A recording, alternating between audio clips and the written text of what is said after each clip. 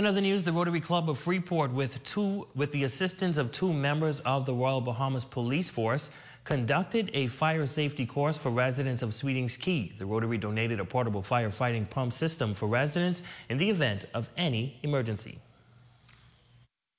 I think the residents of Sweetings Cay is very grateful to the fact that the, the Key has had no firefighting equipment and uh, this donation today um, is a collaborative effort of uh, our district along with our club.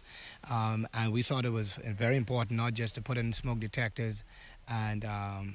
fire extinguishers, but also to bring in an equipment that will also uh, when the extinguisher is, is, is not doing the job, um, a pump that will be able to pump salt water with a high pressure to be able to fight um, any bigger fire on the key. And so I think they feel a sense of comfort to know that they do have some mechanism or systems in place that they would be able to, to make it happen. This has been a vision and a dream of our president coming into office. Uh, this is one of the things that he outlaid that he wanted to be able to accomplish in his president year and being able to make sure that this key,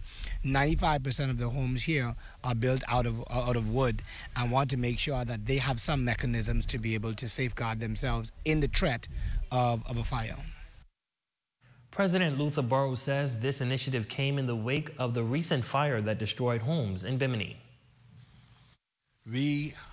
were alerted to the fact that it was a need based on the fact that you know, Rotary presence here putting the homes. We were we were elated that there was no safety uh, equipment on the key, and so our club uh, decided that this was a, a worthy uh, initiative that we, we, we needed to do.